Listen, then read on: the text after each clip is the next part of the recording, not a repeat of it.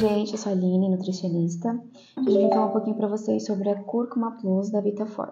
A cúrcuma, ou açafrão da terra, é uma planta originária da Índia que tem forte ação antioxidante e anti-inflamatória, que associada a bons hábitos alimentares pode ajudar a diminuir colesterol, prevenir diabetes e aliviar algumas dores. E essa da Vitafor é a base de cúrcuma longa, que contempla a curcumina como principal ativo e é associada a vitamina B12, vitamina E, selênio, triglicerídeos de cadeia média e vem em cápsula soft gel, que tem uma absorção mais rápida. Então, a cúrcuma tem ação antioxidante, anti-inflamatória, auxilia no funcionamento do sistema imune, atua na recuperação muscular no pós-treino, é anticancerígena, uma vez que ela pode bloquear o crescimento descontrolado de células cancerosas, é cardioprotetora, regulação de pressão arterial, é, neuroprotetora, é, rica em antioxidantes, a cúrcuma pode ajudar a evitar a produção excessiva de radicais livres.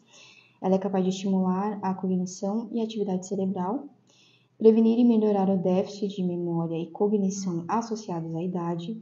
Também oferece proteção contra a degeneração dos neurônios e melhora das alterações nos neurotransmissores em casos de ansiedade e depressão. Bom, é verdade que a cúrcuma proporciona diversos benefícios à saúde e pode fazer parte da alimentação de várias pessoas, mas a gente não deve tratá-la como um alimento milagroso, ela é apenas um complemento e também tem contraindicações.